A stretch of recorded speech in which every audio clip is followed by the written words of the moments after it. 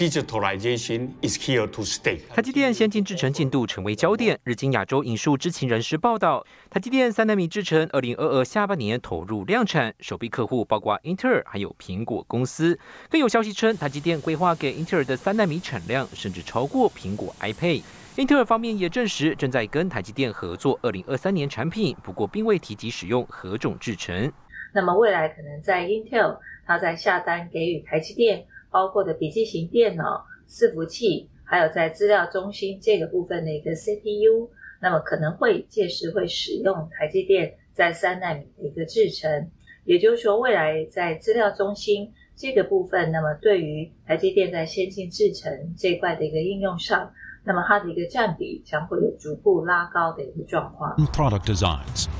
三纳米相较五纳米，效能提升百分之十到百分之十五，功耗更降低百分之二十到百分之二十五。据传，英特尔计划绝地大反攻，与台积电合作两项三纳米计划，好从超微和辉达手中抢回笔记型电脑、资料中心伺服器 CPU 的市占率。实际上，台积电日前线上技术论坛就曾经透露，旗舰手机资料中心 AI 加速器会在第一时间采用最先进制程技术，更看好数位转型趋势，将有百分之五十的投资用在资料中心，而这些都得仰赖半导体元件。So if you look at the trends that are driving our business, of course we have talked about trends of 5G, AI, intelligent edge, and smart user devices as being secular trends for demand growth for us.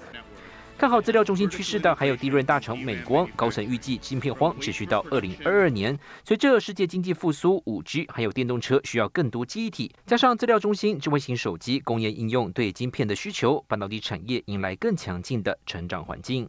新亚一沈维彤，台湾台北报道。